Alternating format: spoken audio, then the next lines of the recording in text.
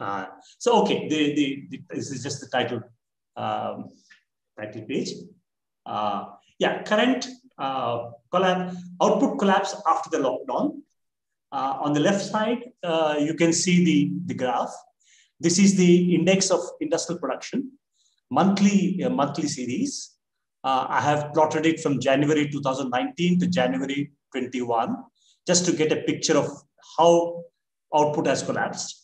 As you can see, uh, it had uh, just prior to the lockdown and it had peaked around January 20 and it fell by about 60%. If you take the January 20 to March, April 20, the output index fell by about 60%, expectedly, as we know, uh, uh, lockdown collapsed production and demand.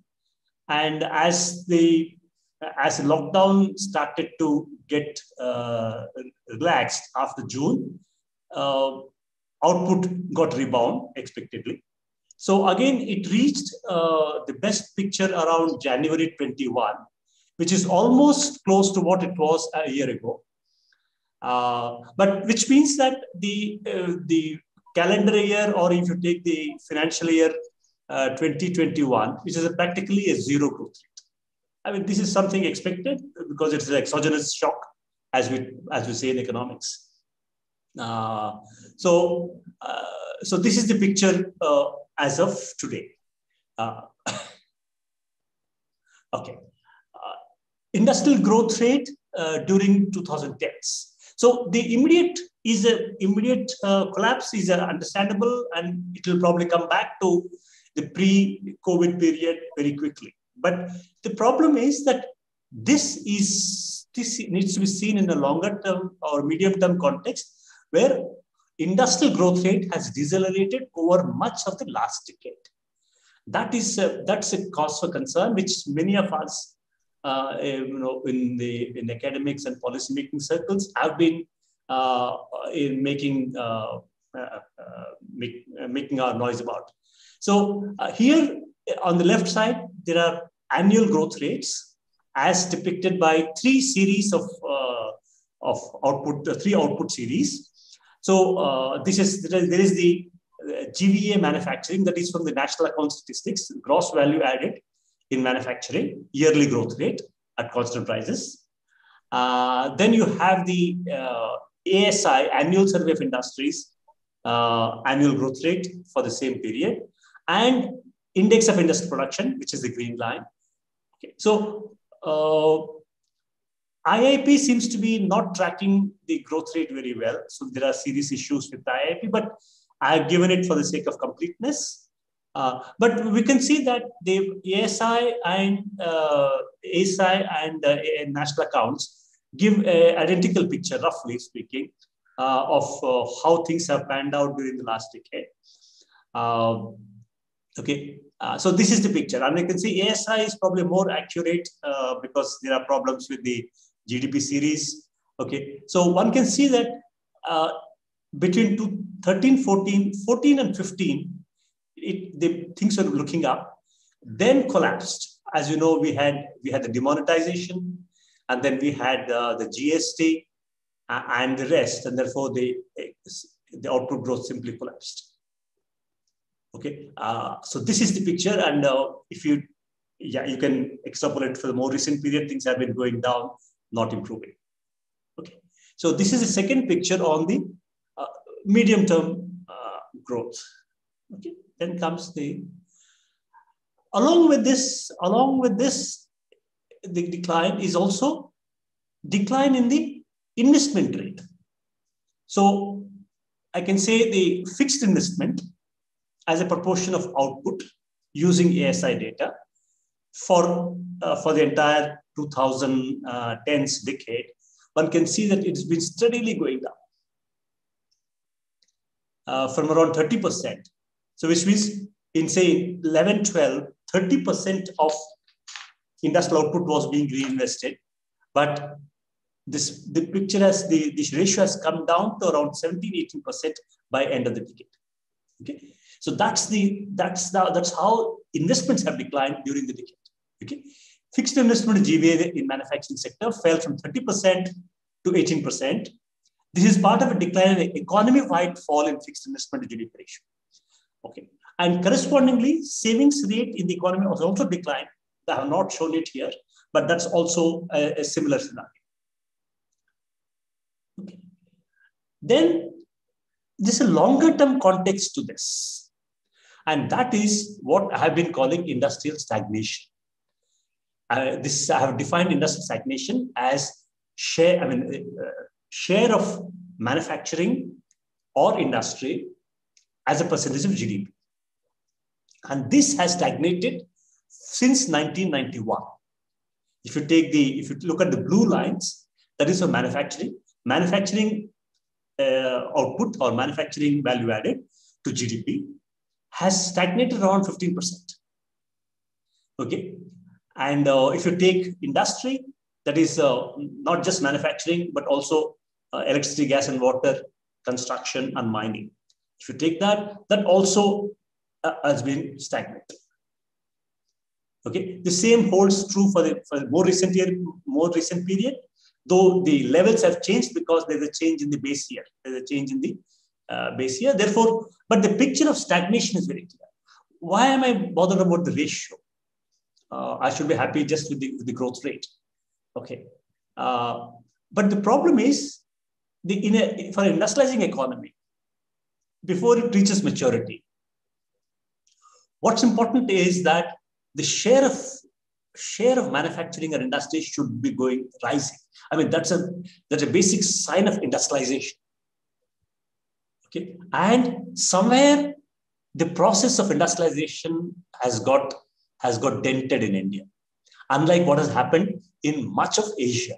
If you look at China, if you look at uh, the earlier industrializing countries, right from Japan to Korea to Taiwan, okay, all those countries in the early phase of uh, of uh, development, industrialization was the engine of growth. Okay, then they became post-industrial societies, they become service-oriented economies. Okay, but India uh, has somehow failed to do that after 1991, which is what I have been emphasizing, and that is shown in this picture. Okay, so to there are three sets of there are three sets of uh, uh, issues. One is the immediate collapse of output during last year. There is a medium-term issue of deceleration of industrial output during much of the uh, much of the last decade, and this should be seen as a part of industrial stagnation, which has been uh, which has been uh, which has been a major issue of India's development outcomes since 1991 when we started liberal economic reforms. Okay, and understanding the slowdown. How does one understand this slowdown? So this is the so so far I have given just the bare facts, which I think are essential to understand the plight or the status of industrialization in India. Okay, so it is not that uh, this is not known. The fact that industrialization has suffered has is known to policymakers since the beginning of the last decade. Okay, to address this issue, the government which came, came into power in 2014-15 uh, started and initiated a, a, a, program called Make in India. I'm sure all of you would be aware of this. You'd have seen the, the mechanical uh, tiger or a lion across the country and Make in India being advertised as, a, as the primary goal of economic policy of the current regime, political regime. Okay, so therefore, Make in India is something which I'm sure uh, all of you would have heard about or seen about it, seen the its emblem, and you know read about it. What are its main objectives? Its main objectives are to raise manufacturing sector share in GDP to 25% by 2022 and create 100 million additional manufacturing sector jobs. Okay.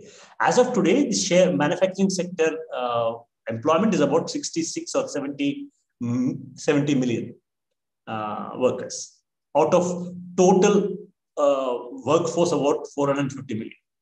So that gives the relative size of the manufacturing employment. Okay. So to achieve this goal, it would call for an annual industrial growth rate of 12 to 13 percent. One can do the arithmetic behind it. Okay.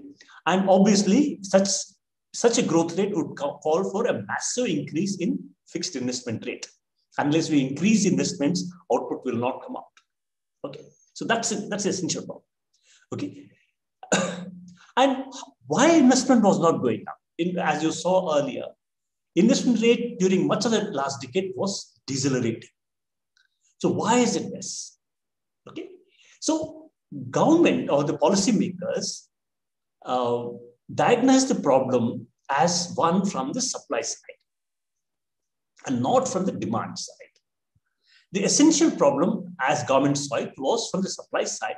And what are the supply constraints? Okay. Supply was restricted. This is the essence of the, the, the underlying I mean, the argument behind the government's policies uh, for uh, industrialization. Supply was restricted due to excessive state regulations and rigid labor laws, holding back private and foreign.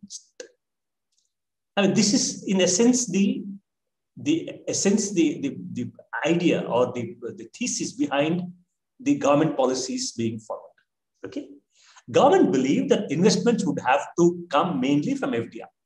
That Indian Indian uh, Indian savings rate is already high, around 30 plus percent.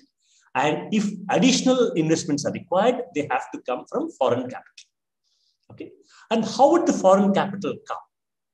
And the government believed that way to entice foreign capital is to improve India's ranking, India's or say attractiveness to foreign capital. How is this uh, uh, revealed? How is this uh, India's attractiveness to foreign capital revealed?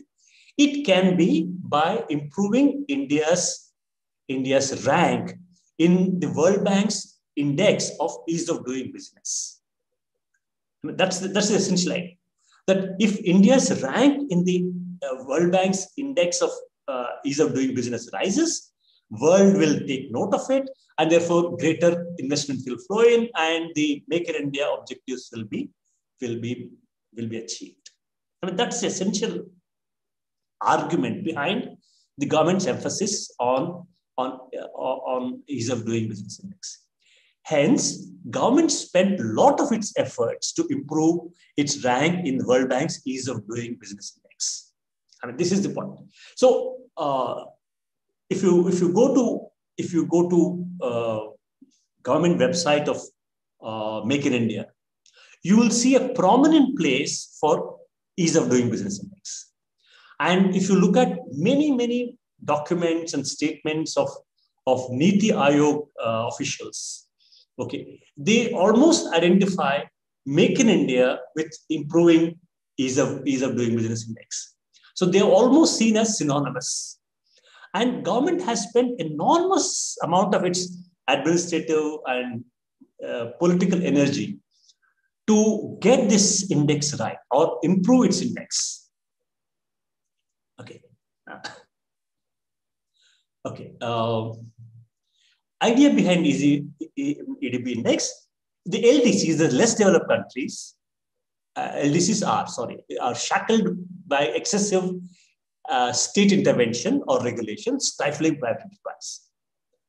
In other words, if you put it in simple terms, it's basically an idea that free markets with minimum government regulation is best for attracting investments. Okay. Dismantling the excessive regulation will attract investment and boost output. Is essentially behind all the you know high sounding technical terms is essentially an argument for let the markets perform and let the government withdraw itself in intervening in various markets that is market for capital market for labor market for technology okay so that is essential idea Okay, but World Bank's EDB index gives a physical number to it, and there are various components of this index, uh, like you know, uh, kind of uh, how many licenses or how many permissions are required for an enterprise to be started. Okay, how labor laws affect uh, you know, employment of workers, and various things. There's a, there's a whole lot of index, and there are various components to it. Okay.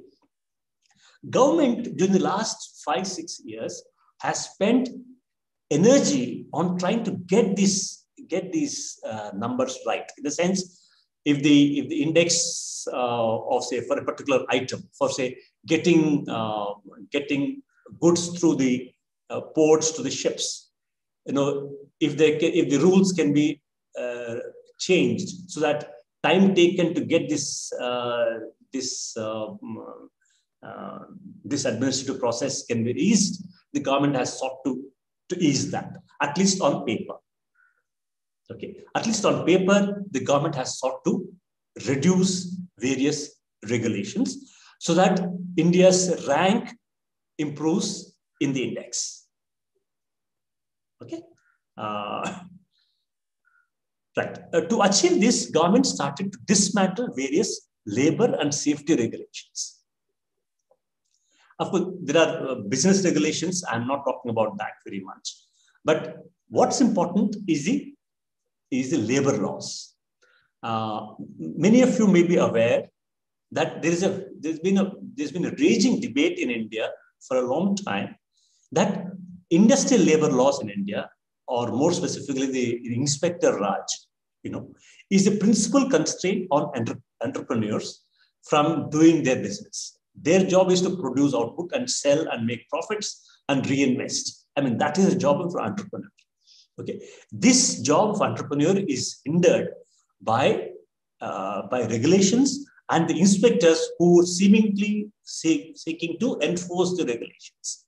And in this process, there is a belief that it leads to enormous amount of corruption and I mean to use more uh, more uh, more glorified term called the rent seeking. Okay. And this is a hindrance, major hindrance for entrepreneurs from achieving their goals and also contribute to national output. So government has decided to dismantle various regulations. Okay. Uh, since 2015, mandated inspection to comply with labor laws has changed to self-certification by entrepreneurs. This is a very important change.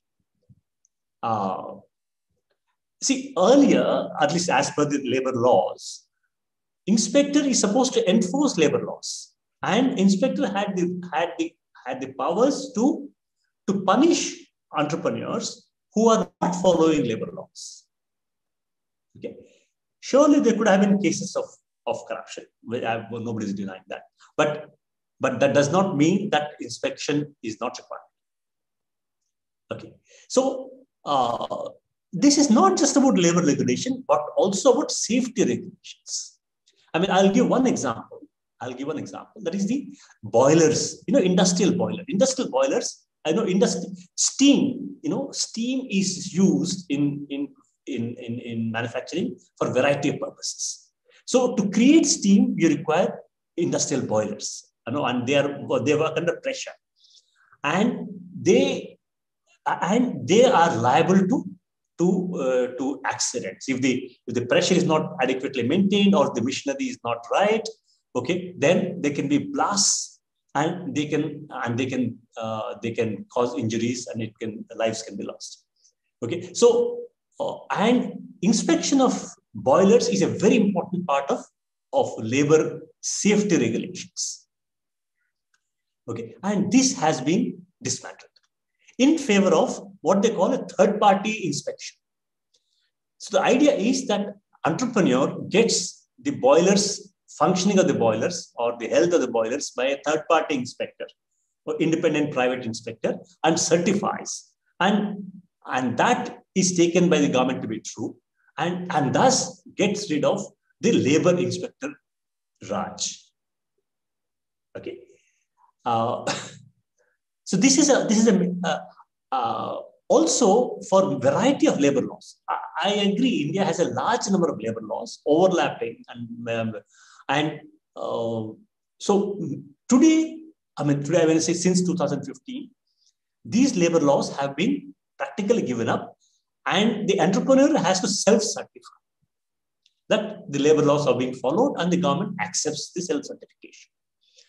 In fact, a, a large number of private uh, agencies have come up, uh, like TeamLease. TeamLease is a very big name, I would have, as you would have heard. Okay, uh, uh, so they certify that you know the, uh, the, the, labor labor regulations are complied with with self certification by entrepreneurs. Okay. Um, okay. So this is a serious uh, change. Okay. Before we come to that, in fact, I'll just say that just a few days ago, I wrote a paper in you know there is a online uh, economics uh, um, um, digital journal called the Ideas for India. Um, I wrote a short piece on the rising uh, rising cases of industrial and commercial accidents. As you have noticed, there have been a series of fire accidents in factories and commercial establishments, and especially hospitals. If you just do a Google search, use and say uh, industrial and commercial accidents, you will see a large number of lists, large list there. Okay, so I mean, that made me look into it, and I think, in my view, uh, that is my hypothesis, that this is an outcome of outcome of of giving up safety and industrial labor laws. I have a short piece uh, which appeared last week in Ideas for India. You may have a look at it. Okay. So, but I will not go into it further. Okay. I will go back to the main question about industrial performance. Okay. okay. Outcomes. Uh, as I said, India spent, or the government of India um, and its major agency, Niti Aayog, spent enormous energy to improve its ranking in the global index of ease of doing business. Okay? And India was very successful in doing that. India was very successful in doing that. And India's rank stood at to 141 out of about 160 or 170 countries in the world. Okay, uh, in 2014. And thanks to the government's efforts, uh, the rank has moved to 66 by 2020. And that's a quite a commendable achievement. And in fact, the Honorable Prime Minister said that he's not happy with this ranking. In fact, he has said that he has asked his officers to that India should come to less than 50. I mean, that's a target given by the Honorable Prime Minister. Okay, so therefore, India has India has surely done exceedingly well. Uh, uh, okay, uh, exceedingly well in improving the uh, in India's ranking. But what did it achieve? Is the after all the ranking is a is an intermediate objective. Okay, the ultimate objective is it should lead to increase in foreign investment inflow, investment growth, and output growth. Have they been achieved? Probably not. That is a cause for concern. So surely index can be helpful. After all, it's a, it's a means, to, it is a measure, it's, it's a signal. It's, it's a signal to the world, uh, world business that India is open to business. Okay, but India achieved success in the uh, in EDB rank improvement, but it did not yield what India was looking forward to. That is increase in FDI inflows and increase in domestic investment. And that is a, see, as an economist, as a person concerned about India's industrialization, I feel the EDB index improvement has not achieved anything for us. Okay. So hence, Make in India goals has hardly succeeded. That's my concern. I'll show you the next graph where I have some picture. Okay. Here is the picture. Okay. This is the, this is, I have reproduced from the paper I just mentioned, appeared in the uh, Ideas for India, which okay, appeared last week. Here are two graphs here. You see the blue line, which is just a, uh, which is, uh, there is no trend here. Okay. Uh, blue line refers to net FDI inflow every year. Uh, net FDI is defined as gross FDI minus uh, disinvestments and uh, minus uh, FDI outflow from India. Uh, disinvestment perhaps needs some explanation. Uh, as you know, these days FDI comes into India mostly by private equity agents. agents. They do not directly come from big companies like Philips or Intel or major manufacturing companies or major service companies. Okay, most of FDI is coming into India in terms of private equity. Okay, they are they are shadow banking agencies. They invest in, in India in acquiring existing assets, not creating new assets. They don't add to capital formation, but they only acquire existing assets. Uh, and therefore, and their their time horizon is three to five years. Uh, so, so there is a so there is a, after three or five years, they sell their shares in the Indian stock market or to the, uh, the promoter agencies and withdraw their money. Okay, so if you see the uh, if uh, if you see the disinvestments by private equity is pretty large these days. So therefore, if you want to measure how much FDI has flown in, one should take the net measure, not the gross measure. Okay, and of course, and also as a percentage of GDP which is what I have done. As you can see, the blue line, that is net FDI inflow, has hovered between 1.2% and 1.5% during uh, 2013, 14, and 19, 20. There's hardly a trend here. Okay, so what, therefore, FDI was not attracted by increased in, or improved India's ranking in EDB index.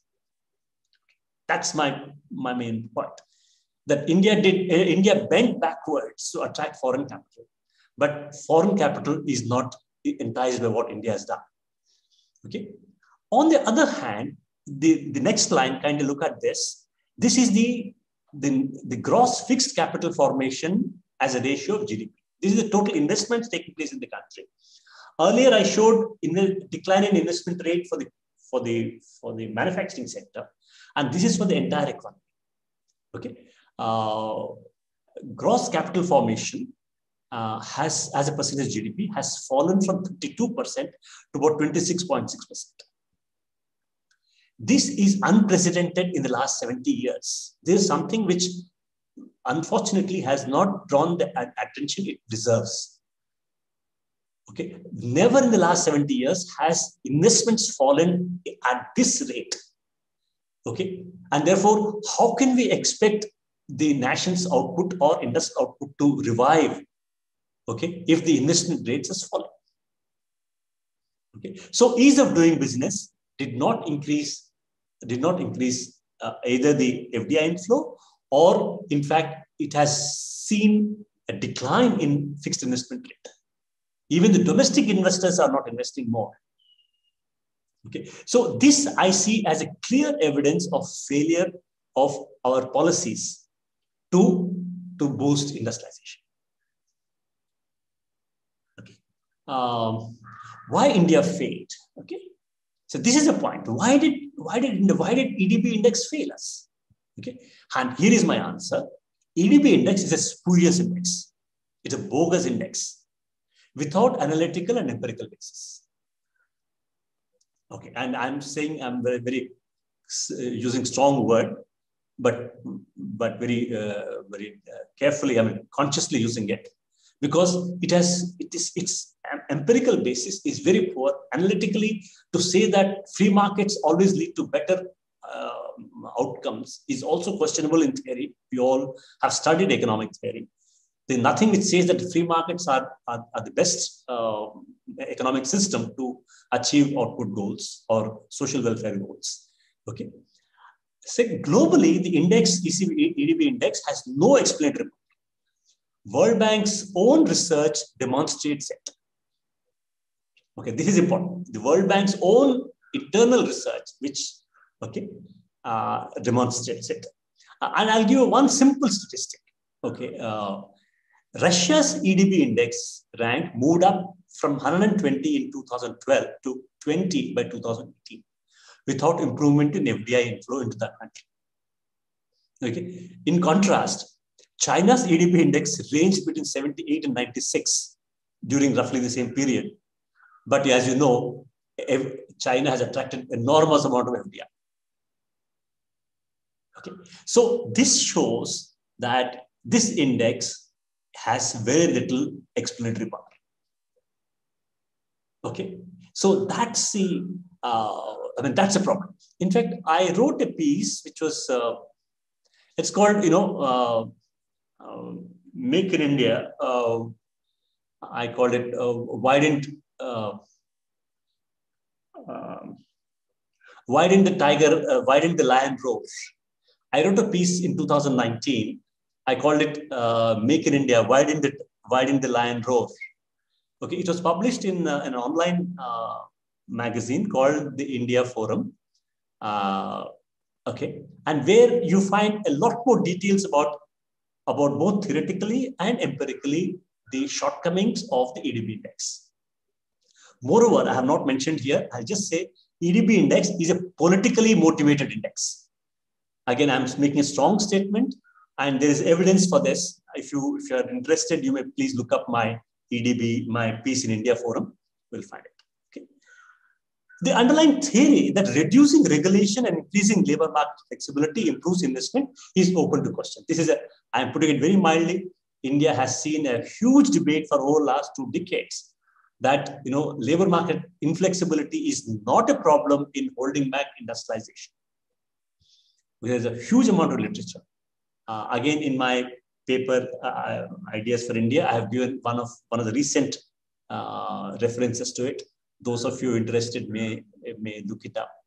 So the notion that labor market regulations are a are a binding constraint on industrial development or industrialization is is highly questionable. That is my point. Uh, okay. What's the solution? This here comes my view.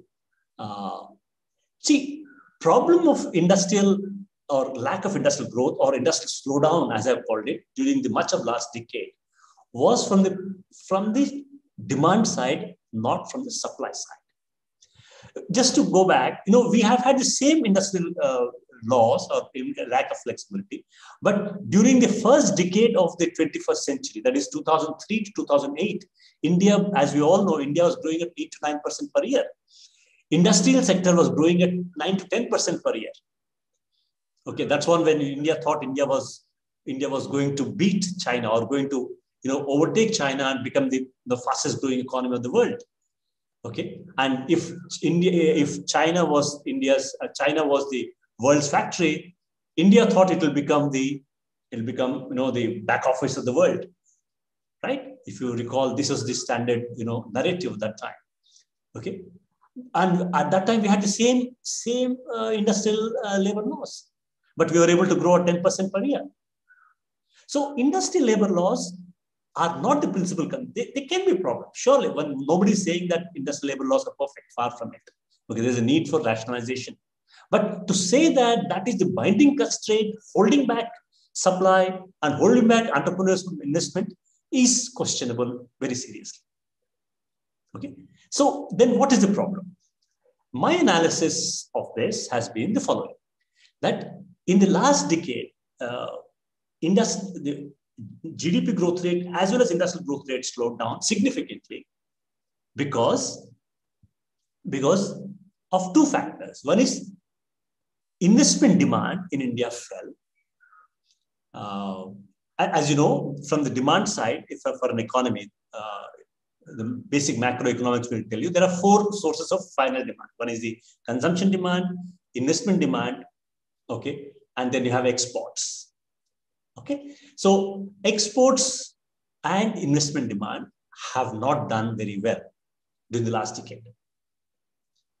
Okay, as you know, exports uh, exports as a percentage of GDP have fallen because the world economy has slowed down, world trade growth rate had slowed down. Okay, and that's something exogenous to the economy. We cannot easily uh, easily uh, you know influence that. Okay, but what can be definitely influenced is the domestic investment rate, right? And domestic investment rate was adversely affected because the private sector, which was the engine of growth during the first decade of you know of, in, of 21st century, you know, when we had the dream run, we had the rapid growth of eight to nine percent. Private corporate investment was was the engine. But that engine faltered after the global financial crisis because it has been mired in deep debt. So the private sector is not able to enhance its enhance its uh, investment rate. Uh, therefore, investment demand has fallen. So way out of it is that is that public investment has to step in. I mean, this is the standard role which which Keynesian economics has has has has uh, has has given for public in public uh, uh, public expenditure. Okay, so public investments have to be stepped up until the private sector comes back to its old self okay in terms of uh, you know reducing its uh, debt and you know and its expectations about the future okay. But public investment have not increased in it. Despite a lot of a lot of rhetoric including in the present budget okay at the ground level increase in public investment has not taken place if anything the government has been desperately wanting to reduce public uh, public sector share and wanting to privatize public enterprises. Okay, when there is a threat of privatization hanging on on uh, enterprise, public enterprises, public enterprise management would be hardly enthused about coming up with new plans for investment. Right? So this is I see as a principal problem of India's slowing down, especially the industrial slowdown. Need to step up domestic investment to boost infrastructure and design industrial policies to reduce import and technological dependence. I have not spoken much uh, at all about the industrial uh, policies. To, as you know, India has become an import-dependent economy. I think this became this uh, this shock or revelation came to us when during last year when we had border skirmishes with China, and suddenly, sorry,